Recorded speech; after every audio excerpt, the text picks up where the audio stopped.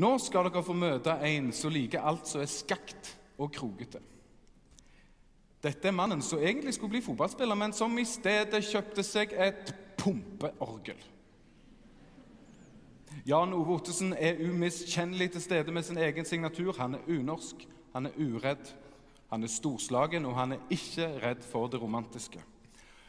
Som Kyrre Sassebo Haaland så har han skrevet et verk for denne kvelden, og dere, hei, er heldige grisene som skal få høre det for aller første gang.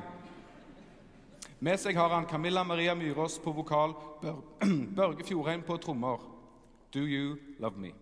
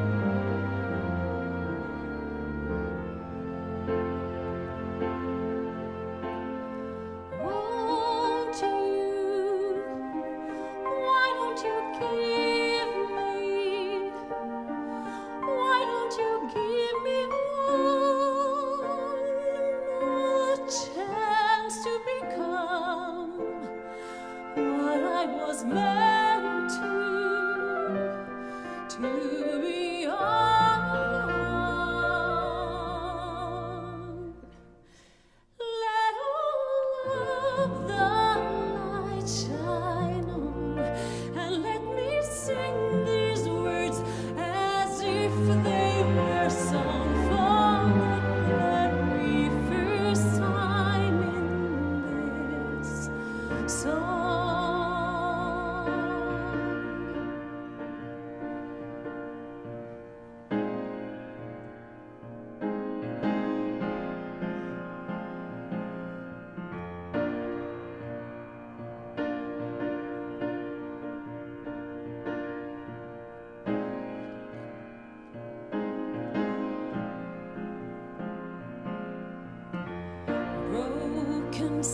sentences, half of which the bandages fell off,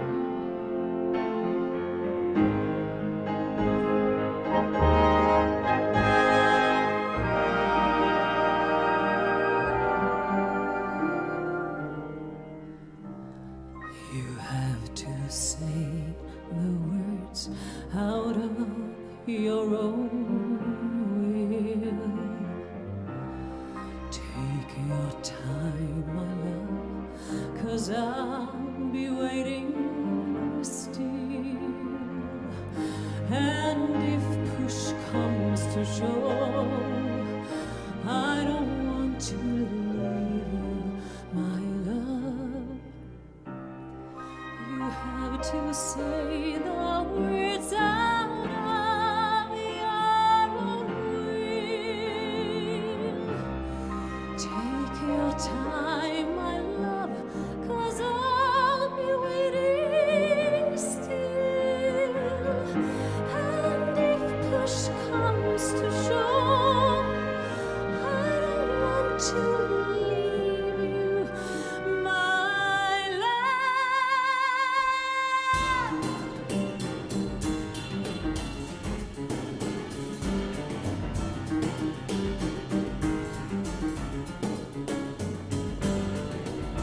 Darling, my love, why is this taking you so long?